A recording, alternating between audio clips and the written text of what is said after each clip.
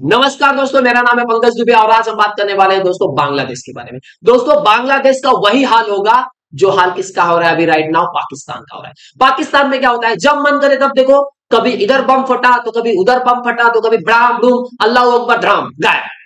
अभी दो तीन दिन पहले न्यूज़ आई पाकिस्तान से कि पाकिस्तान के बलूचिस्तान में एक आर्मी है। कौन सी आर्मी है सर बलोचिस्तान लिबरेशन आर्मी, उसने क्या कर दिया? उसने पाकिस्तान के 102 सैनिकों को निपटा दिया। बोला, जाओ, स्वर्ग जाओ जाओ बहत्तर घूरों के पास चले जाओ।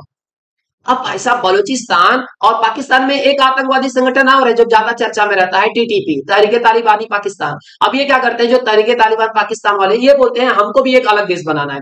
बलोचिस्तान लिबरेशन आर्मी बोलती है, हमको पाकिस्तान से अलग होना है। अब टीटीपी वाले बोलते हैं कि जैसे तालिबान में सरकार चलती है, वैसे पाकिस्तान में चलनी चाहिए। तो पाकिस्तान पूरा तबाह हो चुका है। इंडिया का बेटा तबाह हो गया, अब पोता उसी राह पे चल दिया है। अब पोता ने क्या किया? यहाँ पे आप देख सकते हो the caretaker government in Bangladesh ये कौन भैया? इनको तो आप जानते ही हो, मोहम्मद यूनुस खान। इन्होंने क्या कर दिया? टेरर ग्रुप के जो चीफ थे, उसको क्या कर दिया? बरी कर दिया पेरोल पे। जाओ बेटा, जाओ, जहाँ मन करे उधर क्या करो बम फोड़ करके आ जाओ। अब उसका नाम क्या है? इनको देखिए, ये, इनको जरा मैं थोड़ा सा बोलते हैं ना जूम करके आपको दिखाना चाहता हूँ दोस्तों। काफ़ी बोलते हैं ना, बहुत बढ़िया काम किया है बांग्लादेश ने ना। ये देखिए, इनको। अब ये कौन है भाई साहब? ये है जसुमुद्दीन रहमानी। इनका कनेक्शन क्या है भैया? ये क्या है? चीफ है किसके? अंसरुल्ला बंगाला टीम एबीटी के, जिसका कनेक्शन किसके साथ में है? अलकायदा के साथ में। तो अलकायदा वाले हैं ये।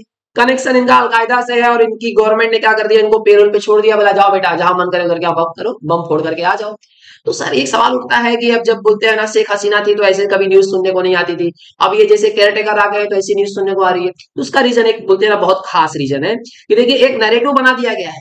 चाहे वो मैं पाकिस्तान की बात करूँ, चाहे मैं वो बांग्लादेश की बात करूँ, अगर ये दोनों मिलकर कोई भी बोलते हैं ना गवर्नमेंट का बंदा या कोई भी बंदा भारत को गाली देगा तो ये बोलेंगे, ये वाह वाह वेरी गुड वेरी गुड आप बहुत बढ़िया काम कर रहे हैं। मतलब ये सिर्फ़ यही चाहते हैं कि किसी भी तरीके से भारत को नीचा दिखाया जाए, भारत के बारे में बुरा बोला जाए, भारत को गाली दी जाए इनको खुशी मिलती है इनको और कुछ लेना देना नहीं इनको खाने को नहीं मिलेगा ना, वो भी चलेगा अब यहाँ पे देखिए, ये एक कबूतर है। ये कबूतर किसके हैं? चाइना और यूएस के। चाइना बोलता है, मेरे साइड में आ जाओ। यूएस बोलता है, हमारे साइड में आ जाओ। यूएस ने गेम खेला? यूएस ने क्या बोला? शेख हसीना को, भैया, हमको क्या करो? सेंट मार्टिन क्या करो? आइलैंड हमको दे दो, नहीं तुम्हारी सरकार उड़ा देंगे। और शेख हसीना ने नहीं दिया, और सरकार गई इनकी। अब अमेरिका इस चक्कर में पड़ा है भैया, गेम तो कर दिया हूँ, फ़ायदा उठा लू। चाइना इधर से अलग पड़ रहा है। चाइना बोल रहा है, ना, हम तुम्हारे साइड में ले लो, बीस डॉलर ले लो, तुम्हारे यहाँ पे फ्लड आ गया था ना, ले लो, बीस डॉलर ले लो। ये ले लो, वो ले लो। अब ये बोल रहे हैं भैया कि आप क्या करो? चाइना से बोला, सोनार पैनल लगा दो हमारे यहाँ पे, ये कर दो, भीख भागना चालू हो गया, आगे रास्ते पे। अब चाइना इनको कब्जी आएगा, वही हाल होगा, जैसे बोलते हैं ना मालदीव का हुआ, श्रीलंका का हाल हुआ, वही हाल होने वाला, जिसका बांग्लादेश का होने वाला है। 1971 में अगर हम चाहते ना तो पूरा बांग्लादेश कब्जा कर लेते, क्या कर लेते ये लोग? क्या कर लेते ये लोग, बताओ? कुछ कर पाते, नहीं कर पाते। हमने तो रहम दिल दिखा दिया जाओ, तुम आगे बोलते हैं ना, मुसलमानों के लिए अलग देश चाहिए, फ्री रहो, खुश रहो। लेकिन तुम लोग बताओ, खुश हो? खुश हो, चचा? नहीं हो, खुश हो? अब यहाँ पे देखिए एक पूरा बोलते हैं ना, एक आतंकवादी संगठन बोलते हैं ना, बोलते हैं बांग्लादेश में एकदम पूरी तरह से एक्टिव हो गया है। वो आतंकवादी संगठन का अगर मैं बात करूँ तो जैसे देखिए, शेख हसीना को जैसे बोलते हैं ना, तख्ता पलट किया गया उनका तो उसमें खास हाथ किसका था? बांग्लादेश जमात इस्लाम का आपको क्या लगता है, ये स्टूडेंट्स लोग ने बोलते हैं ना प्रोटेस्ट किया और ये शेख हसीना की सरकार गिर गई? नहीं भाई साहब, पीछे से बैकअप था किसका? जमात इस्लाम का। इसको फंडिंग करने का काम कौन करता है? इसको फंडिंग करने का काम कौन करता है? अमेरिका करता है। अमेरिका के जेब में अमेरिका बोलता है, ये लोग अमेरिका जैसा चाहता है, वैसे बोलते हैं ना चाहता है इन लोग को, कठपुतली है लोग। अब ये बोलते हैं ना, हालत ऐसे हो गए कि आपने देखा होगा कि जब बांग्लादेश के अंदर प्रोटेस्ट हो रहा था तो यहाँ पे क्या किया? जेल में आग लगा दी गई। और बहुत सारे बोलते हैं आतंकवादियों को प्रिजनर्स को बोला, जाओ, तुम भी आज़ाद हो जाओ, हम भी आज़ाद है। अब सोचो कितना मेहनत कर करके बोलते हैं ना सरकार ने, और भारत सरकार ने भी बोलते हैं ना, बहुत सारे ऐसे टेररिस्ट को पकड़वाया था बांग्लादेश के अंदर, उसके लिए कितनी प्लानिंग कितना रिसोर्सेस खर्चा हुआ था, कितना टाइम वेस्ट हुआ था। लेकिन ये लोग, निकम्मे लोग, आग लगाओ, कैदी भगाओ, प्रतियोगिता चालू कर देगी यहाँ।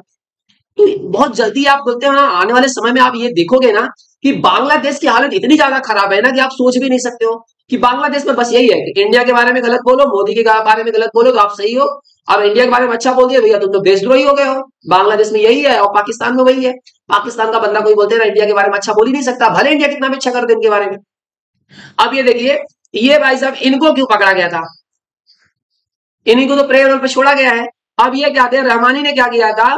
एक, इन्होंने क्या किया था? एक ब्लॉगर राजीव हैदर का क्या कर दिया था? हत्या कर दिया था। अब उसके साथ ही साथ अगर मैं बात करूँ इनके, ये चीफ थे किसके?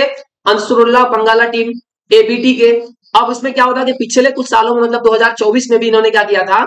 दो आतंकवादियों को क्या किया गया था? पकड़ा गया था। कहाँ पे? जिनका नाम क्या था? बहार मिया और रैरली मिया। इनको अरेस्ट किया गया था गुवाहाटी रेलवे स्टेशन में, कहाँ पे? आसाम में। और उसके पिछले साल भी बहुत सारे अरेस्ट हुए थे। जितने कनेक्शन पाए गए ना, ये एबीटी टीम के ही पाए गए कि इनका अलकायदा से कनेक्शन भी है। अब देखिए, बांग्लादेश में बोलते हैं ना एंटी इंडिया बोलते हैं ना, चल रहा है प्रोसेस अब मैंने आपको पहले ही बताया कि अगर कोई ग्रोथ कर ले तो देखो, भारत ने ग्रोथ किया ना, अपने आप दुश्मन बन गए। कौन? बांग्लादेश और पाकिस्तान, कि हम तो एक ही थे, इंडिया आगे निकल गया, हम पीछे हो गए। हमने बोला था पंप फड़वाओ तुम्हारे यहाँ पे। अब देखिए, शेख हसीना जब तक थी तो उन्होंने क्या किया था? जो एंटी इंडिया जो बोलते हैं ना फोर्सेस थे, जो दल थे, बोलते ना, जो पावर बाहर निकल करके आते थे ना, शेख हसीना उसको कुचल देती थी, एकदम सपाट चट कर देती थी। जैसे मैं बात करूँ प्रो जमात की प्रो पाकिस्तान वाले जो लोग बोलते हैं ना, आवाज़ उठाते थे, शेख हसीना उनको चटनी बना करके सूप के साथ पी जाती थी। अब यहाँ पे क्या होता है एक अलग ही नैरेटिव बनाया गया कि भैया बांग्लादेश में बोलते हैं ना शेख हसीना की सरकार इसलिए है कि पूरा इंडिया क्या कर रहा है सपोर्ट कर रहा है। और उसके साथ ही साथ आपने देखा होगा कि जब शेख हसीना का री इलेक्शन हुआ था जब वहाँ भी बांग्लादेश में तो बाइकआउट इंडिया के नारे भी लग गए थे भाई साहब। बोलते बा, बा, इंडिया के बोलते हैं ना साड़ी नहीं खरीदेंगे। इंडिया से वो नहीं खरीदेंगे वो नहीं खरीदेंगे। ठीक है भाई मत खरीदो हम कहा तुमको बोल रहे हैं? लेकिन हमारे देश के बारे में कुछ बोलो मत ना। यहाँ पे आप देख सकते हो कि पाकिस्तान और बांग्लादेश दोनों रोते रहते हैं। पाकिस्तान में अगर इंटरनेट स्लो चलेगा तो इंडिया ने किया है? इंडिया ने कोई टेक्नोलॉजी लगा दिया और हमारा सर्वर क्या हो गया भैया? स्लो हो गया है। अब बांग्लादेश में बाढ़ आ जाएगी तो भी भैया ये बोलेगा कि हाँ ये इंडिया ने किया इंडिया ने अपना डैम खोल दिया। अब बिना बताया, पूरा बांग्लादेश बह गया, डूब गया। तो ये लोग की आदत बन गई है। अब प्रॉब्लम क्या होने वाला है देखिए। अब प्रॉब्लम होने वाला इंडिया को ये है कि जो हम पहले बोलते थे कि भैया यहाँ से बोलते हैं ना प्रॉब्लम चल रहा है, यहाँ से ये हो रहा है, ये हो रहा है। अब वो सब चीज़ें आपको बांग्लादेश से देखने को मिलेगी। पहले हम बोलते थे कि भैया, पाकिस्तान से आतंकवादी क्या कर रहे हैं? भारत के अंदर आ रहे हैं। अब वही चीज़ आपको देखने को मिलेगा कि बांग्लादेश से बोलते हैं आतंकवादी भारत के अंदर एंट्री करने की कोशिश कर रहे हैं। तो जिस तरह से हम पाकिस्तान से परेशान थे, अब उसी तरह से हम होने वाले परेशान किससे? बांग्लादेश से।